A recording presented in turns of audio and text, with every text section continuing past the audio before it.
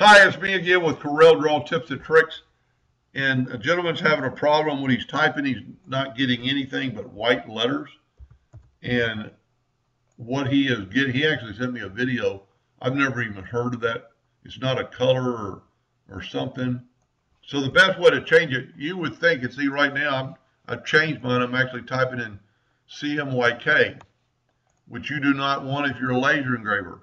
So to fix that, probably the best way to go is go to text, text properties, click on uniform fill, and we've got black RGB,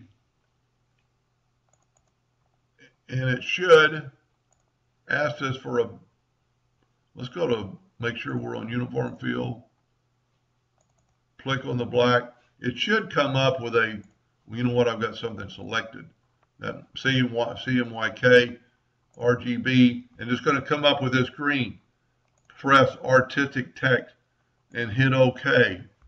Now, when you type, when you get your cursor, it's RGB. And let's just do a little test here. And it is black.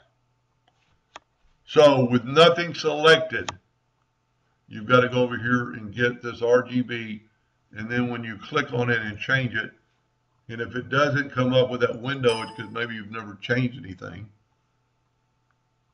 And I would maybe think RGB palette would maybe be more important because these are your RGB palettes and not your document palettes.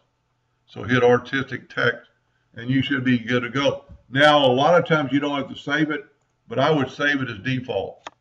I've heard in early later versions that you don't have to do that anymore, but Maybe you do. So let's test it one more time. We've still got black. So I hope that helped him a little bit.